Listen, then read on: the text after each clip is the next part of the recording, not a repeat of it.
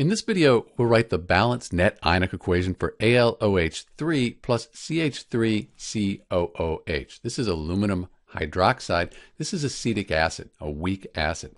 So the first thing we do with net ionic equations, we balance the molecular equation. I've already done that. All we need is a 3 in front of the acetic acid. The molecular equation is balanced. Now we can write the states. So hydroxides in general, they're insoluble with a few exceptions like sodium or potassium hydroxide, group 1 elements bonded to a hydroxide.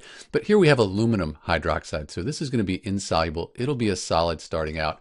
Acetic acid, we write aqueous because this will dissolve in water, but it's a weak electrolyte, doesn't dissociate much.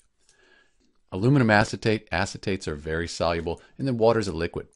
Now we can split the strong electrolytes into the ions. This will give us a complete ionic equation.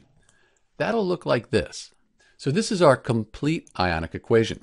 We didn't split the aluminum hydroxide up. That's insoluble. It's a solid. We don't split solids apart in net ionic equations. And we don't split weak electrolytes. We said this acetic acid is a weak electrolyte. So we're not going to split that apart.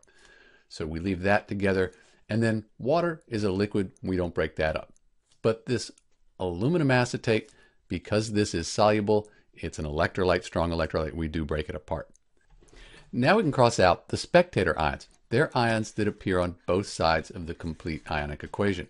So when I look at the reactants and the products, everything is different. There's nothing that's the same. This is three molecules of acetic acid. This, three acetate ions. Very different. So the complete ionic equation, that's the same as the net ionic equation. So things to watch out for. Aluminum hydroxide is going to be insoluble. We'll keep that together because it's a solid. And then acetic acid is a weak acid. We don't split that apart. This is an important one to remember. This is Dr. B with the balanced net ionic equation for aluminum hydroxide plus acetic acid. Thanks for watching.